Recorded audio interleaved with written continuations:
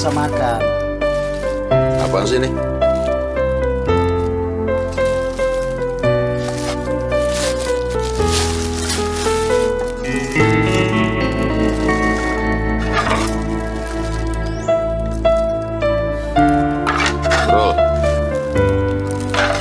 lo kalau mau bisnis yang rada serius dikit, gue buat apa genteng dua lembar begini? Ya buat ganti genteng yang bocor lah bang. Musola gentengnya nggak ada yang bocor, rapat semua ya. Ya tapi buat pukulan silat pun bisanya nih bang. Gue bisa mukulin tembok gue. Ya sekedar buat makan aja lah bang. Abang belilah ini berapa aja bang. Udah dua hari ini kami ini makan angin terus bang. Pikiran kotor, perut kosong, setan itu pun pengetayangan aja. Bahkan anak awak yang bungsu itu bang, udah nggak bisa dia cakap lagi. Ya kan anak lo masih bayi, nggak bisa ngomong dong. Kalau dia bisa ngomong, dia maki-maki lo bapaknya. Sepuluh ribu aja nggak ada bang. Eh,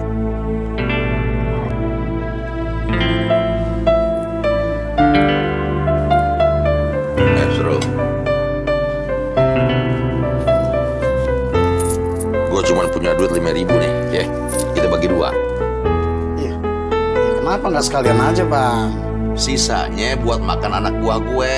Itu hak mereka. Oh gitu. Iyalah bang. Kalau gitu awak ikhlas. Ya lo kalau kagak ikhlas keterlaluan lo seru. Eh, Iya. Kok seribu perak bang? Setahu awak kan lima ribu dibagi dua itu kan dua ribu lima ratus bang. lo kagak denger tadi gue ngomong. Kita bagi dua, bukan bagi rata. Oh gitu. Iyalah bang. Alhamdulillah nih bang. Kalau gitu terima nih bang ya. Ya terus eh, kayak mana nasib benteng ini bang? Ya udah lo jual aja ke orang lain deh. Kayak mananya abang ini? Siapa yang mau beli genteng tak berguna macam ini? Ya lo tanggung apa guna lo jual ke gue bagaimana Iya, iya bang, iya iya bang, iya bang, iya, iya bang. Kalau gitu awak minta izin dulu nih bang ya. Eh, makasih banyak nih bang ya. Assalamualaikum. Waalaikumsalam warahmatullahi Eh, bang, eh, ada kue 500 sebiji aja nggak? Sekeping. Di mana tadi ya gue taruhin? Gopean kan? Deketan sini suruh, sini sini deketan sini. Iya bang, iya bang. sini, Iya, sini, deketan, deketan. Assalamualaikum bang. Waalaikumsalam warahmatullahi Tanaman gue lu jangan injak tuh.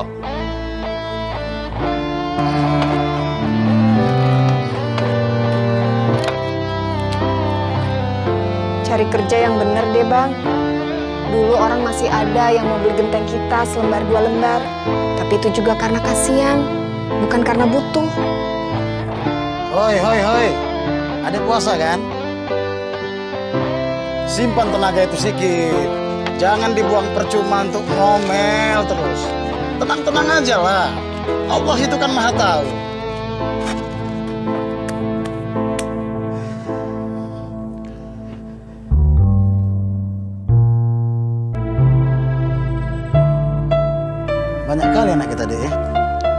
Baru nyadar. Kayaknya udah tak layak kita tinggal enam orang di rumah sekecil ini. Adik merasa nggak kalau jumlah kita ini terlalu banyak?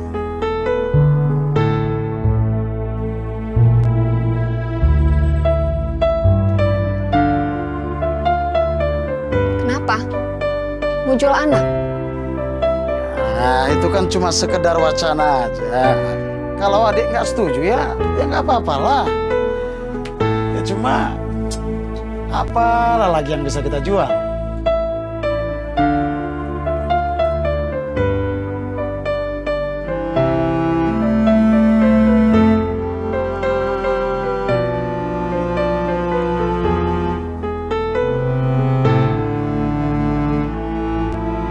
Bang Asrul, tolong cari makan buat nanti malam ya.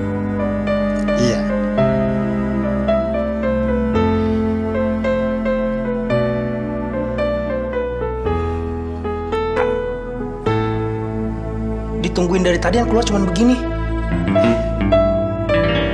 Ini namanya rezeki. Orang yang punya uang aja belum tentu bisa makan tahu. Hmm, tuh, belajar.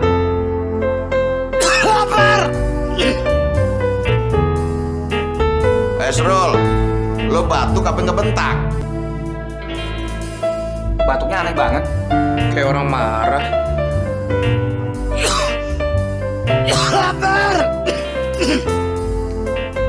Bodoh amat!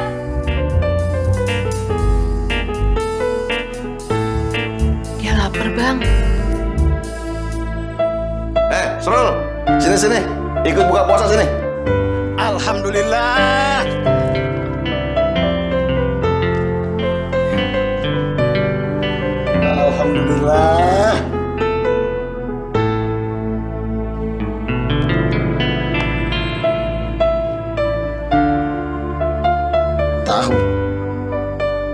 Supaya lembut digilingnya. Jadi perut kita nggak capek. Silahkan, Bang. Ya.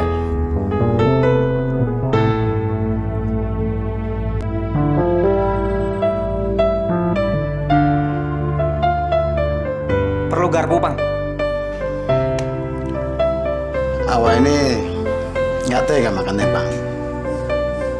Sementara anak istri awak di rumah kelaparan.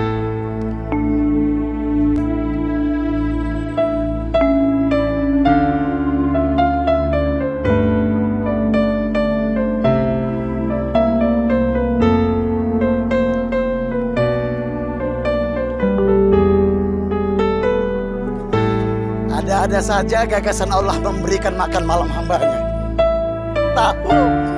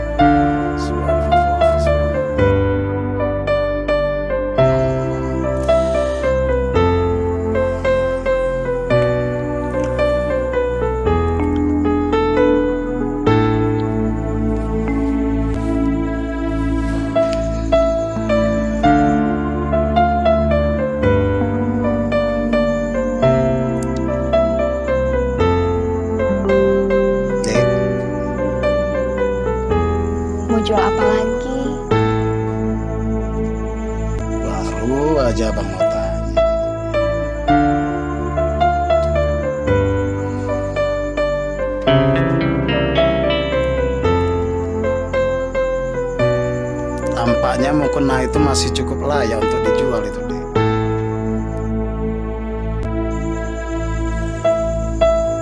Kalau mau kena itu dijual, saya sholat nanti pakai apa? Pakai daster.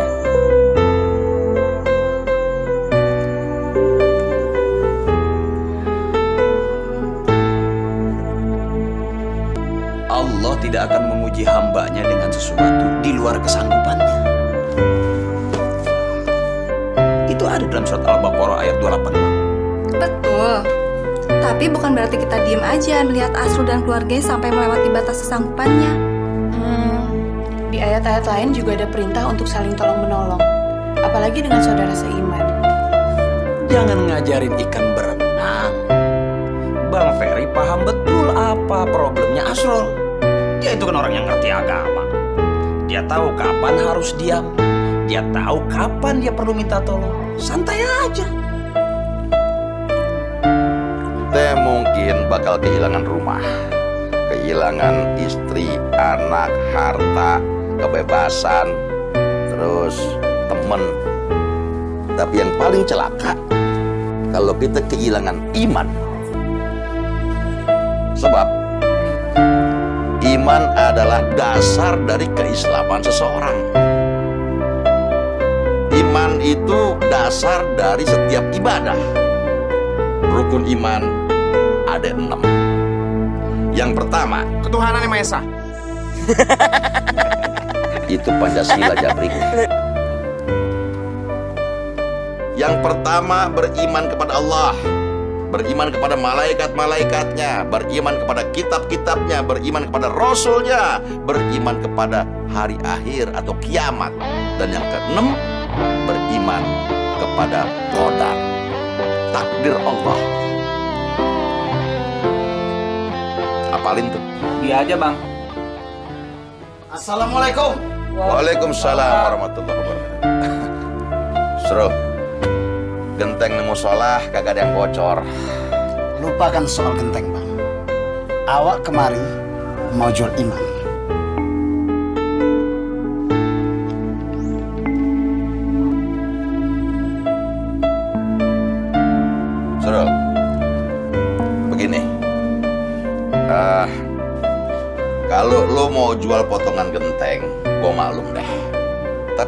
Lo sekarang mau jual iman. Ini jelas-jelas tindakan subversif. Ah, gimana ya? Coba kita dengerin dulu apa maksudnya, Bang. Bang Jack dan saudara-saudaraku sekalian. Awak ini sudah tak punya lagi barang berharga untuk dijual untuk sekedar makan. Yang tersisa dan berharga adalah iman dalam diri Mau dijual satu apa enam-enamnya bang? Eh, rukun iman itu nggak bisa diecer satu-satu, dua-dua. Enam-enamnya satu paket, saling berkaitan. Begitu kan ayah? Iya. Berapa kira-kira harganya? Iman itu jauh lebih berharga dibanding dunia dan seisinya. Nggak bisa dinilai dengan uang. Kalau begitu nggak usah dibeli deh Bang Jack. Pasti mahal banget. Ya, kau jangan berkecil hati dulu. Awak pun tahunya kemampuan kalian. Awak akan jual kepada penawar yang paling tinggi. Nah, siapa yang berani? Hah? Siapa? Bang. Gue jadi pusing ngeliatin kelakuan lu semua. Ntar dulu, Sul, Sul, nih. Eh, gue mau tanya sama lo nih. Sekarang iman lo, lo taruh di mana? Ya, ya ada dalam diri awal, Bang. Ah, jadi kalau ada orang mau beli iman lo, mesti membunuh lo dulu gitu. Ya nggak terpikir nyawa sampai sana, Bang. Gini aja, gini aja. Coba Bang Asrul tawarin Ustadz Ferry. Mungkin dia ngerti gimana cara jual beli iman yang dimaksud Bang Asrul. Astagfirullahalazim. Astagfirullah. Ente mau jual apa, Rol? Awak ini mau jual iman, Pak Ustadz. Ini mumpung bulan puasa. Awak kasih diskon. Astagfirullah, astagfirullah. Istighfar, Rol. Allah berfirman, tidak aku ciptakan jin dan manusia kecuali untuk beribadah kepadaku. Gimana mau ibadah dengan benar kalau nggak pakai iman? Tapi begini, Ustadz ya.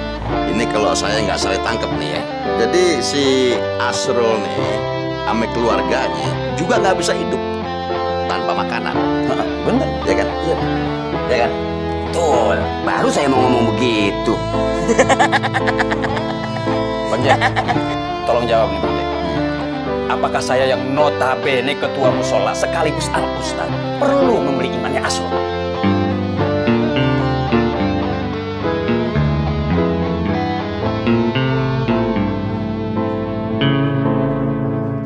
Nah, begini Ustadz. Iman itu sesuatu yang sangat berharga. Lebih berharga dari dunia dan seisinya. iman adalah kunci pokok dalam membentuk keislaman seseorang. Karena itu, Kan saya yang ngajarin begitu sama Bang Jack. oh iya ya, baru minggu kemarin kalau nggak salah ya. Pantesan apa apa? Iya iya benar benar. benar. Ya. Saya cuma mau tanya, apa perlu saya beli imannya Asrul? Itu. Sangat perlu. Alhamdulillah. sangat perlu. Ah, ini ini buat jaga-jaga aja Ustaz ya.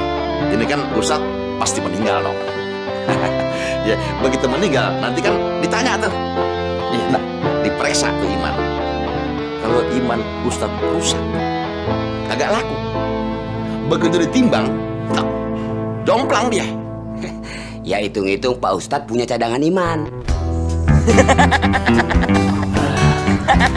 Baru sekarang ketemu kasus kayak gini. Pak, Eh ya, boleh Mama ikut ngomong? Silakan, silakan. Sorry, sorry, sorry. silakan.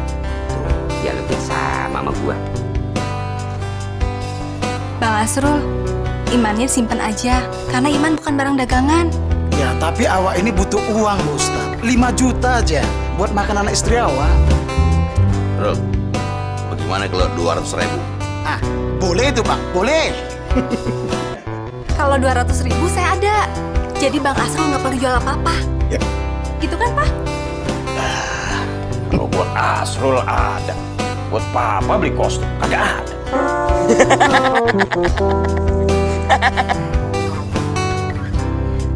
Sebentar ya. Saya ambil dulu uangnya. Alhamdulillah, Bang.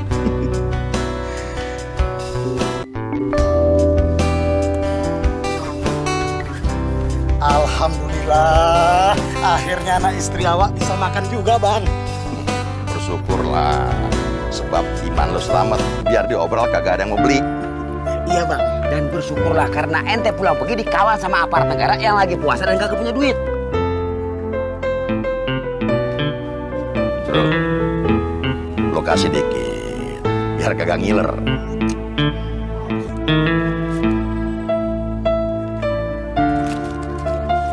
Ah, ini awak kasih kau 5 ribu. Gak usah, Rul, gak usah. Gua ikhlas. Gua gak ada maksud apa-apa. Tenang aja, men, tenang.